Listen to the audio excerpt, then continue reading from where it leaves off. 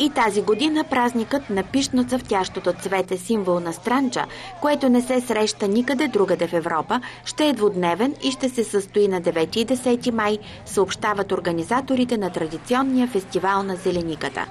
Тази година предстои неговото 17-то издание, чието домакин ще е местността Тулпан край Странчанското село Заберново.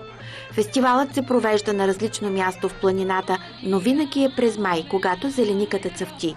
Традиционно се организират различни игри, групови туристически преходи, посещения на природни забележителности и насъждения с цъфнала зеленика. Кои ще са тази годишните маршрути, по които ще минат желаещите да се порадват на рядкото цвете и красивите му цветове, ще стане ясно в следващите месеци.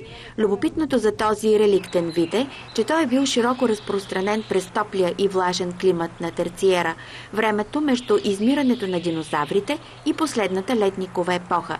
А днес на територията на европейския континент се среща единствено в Странча и Кавказ.